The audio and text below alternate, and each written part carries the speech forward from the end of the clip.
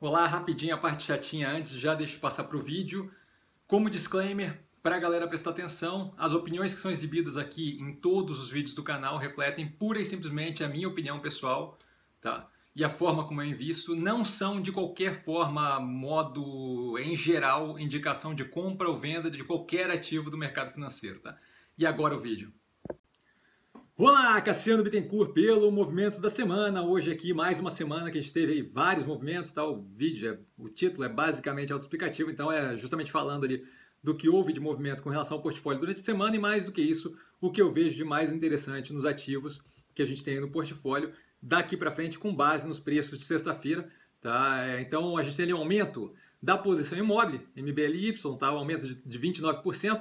Eu continuo muito tranquilo com a operação, não vejo o racional para essa queda toda acentuada no preço dos ativos desde muito tempo atrás, mas inclusive mais ainda agora que a queda continua a se acentuar, então eu vou continuar aumentando a posição se continuar caindo. Como dito inúmeras vezes, a análise do segundo trimestre já está no canal.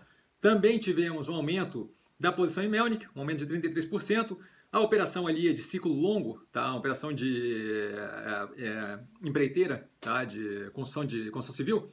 E a gente tem ali empreiteira não, construção civil Tá? E a gente tem ali justamente ciclos longos, ou seja, construir um prédio leva um tempo, e aí a operação é de menor porte, então ela acaba sendo penalizada ou excessivamente beneficiada por resultados trimestrais pontuais. Tá? Eu acho que a observação deve ser feita nos últimos 12 meses, então é, sigo aqui a lógica justamente de se continuar caindo, vou continuar aumentando a posição. E aí, por último, justamente para dar um pouco de dinamismo na carteira, eu fiz a venda da ponta mais barata é, comprada em Ocean Pact. Ah, pô, Cassiano, o que é a ponta mais barata? A ponta mais barata nada mais é do que o controle gerencial Tá? Eu penso o investimento ali operação a operação e não por preço médio. No final, se você tiver todas as compras feitas, todas as vendas feitas, tanto faz se você pensa por preço médio ou por operação a operação. Tá? Então, quando eu faço esse movimento, eu aumento meu preço médio, porque eu deixo de ter constando para mim lá, gerencialmente controlado, a ponta mais barata. Tá? É para o fisco, não faz diferença nenhuma, é tudo por preço médio, mas para mim o controle gerencial faz diferença. Tá? Esse movimento foi feito basicamente para geração de caixa, para liberação de caixa, Tá? Com as compras da semana, o caixa havia ficado apertado e aí eu gosto de dinamismo, é, capacidade, possibilidade de operação nesse momento de tensão de mercado que acaba me possibilitando ali um ou outro movimento de curto prazo bem positivo, como foi justamente esse movimento da Oceanpex que acabou rendendo ali é, alguma coisa próxima de 33%. Tá?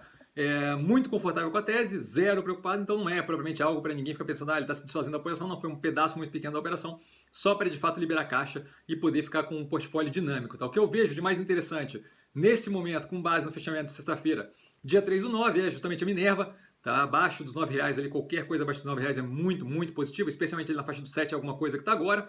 Tá? Em segundo lugar, a Mob. Então, são os meus ativos da semana passada. Tá? É, a Mob não vejo motivo para queda contínua, especialmente esse, esse, essa intensificação da queda mais recente.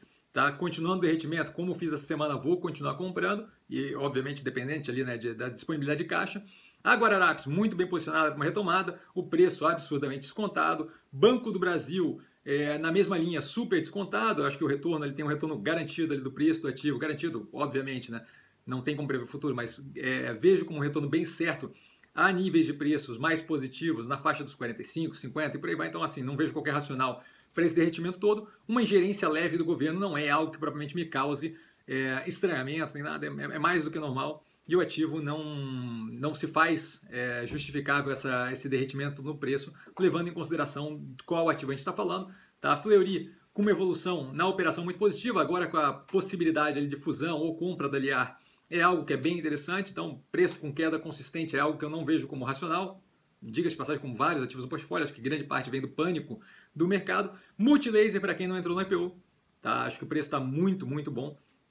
É... Então, assim, até para quem entrou no IPO, acho que já dá para fazer um preço médio para baixo. Eu não fiz ainda, justamente por causa dessa questão de disponibilidade de caixa versus outras operações que estão derretendo consideravelmente mais. Então, eu fico é, tendo que escolher ativos ali para alocar, mas é um ativo que se ficar ali por um, por um pouco mais de tempo, eventualmente é possível que eu consiga liberar caixa com maturação de uma operação ou outra e aumentar a posição ali. A Melnick, se continuar o derretimento, vou continuar aumentando, tivemos o aumento em 33%, se não me engano, né, como falado antes, nessa semana e vai continuar se for o caso. Acho que a, operação é muito mal compreendida, tá? especialmente com a questão de ciclo longo de investimento e a gente ter ali, eventualmente, uma operação, um trimestre ou outro pontualmente negativo, justamente porque É, eu não consigo fazer como o Cirela, por exemplo, que fica fazendo o lançamento direto por ter uma operação consideravelmente maior. Tá?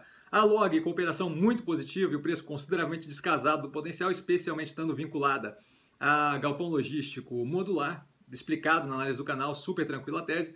E por último, outra par, consideravelmente descontada, com inúmeros rearranjos interessantes, agora mais recente a venda da Oxiteno por 1,3 bi de dólar. É, acho que é bem interessante, a gente vai ver cada vez mais ela justamente recompondo aquele grupo de participações ali com coisas que sejam mais voltadas ao core, ao cerne da operação dela.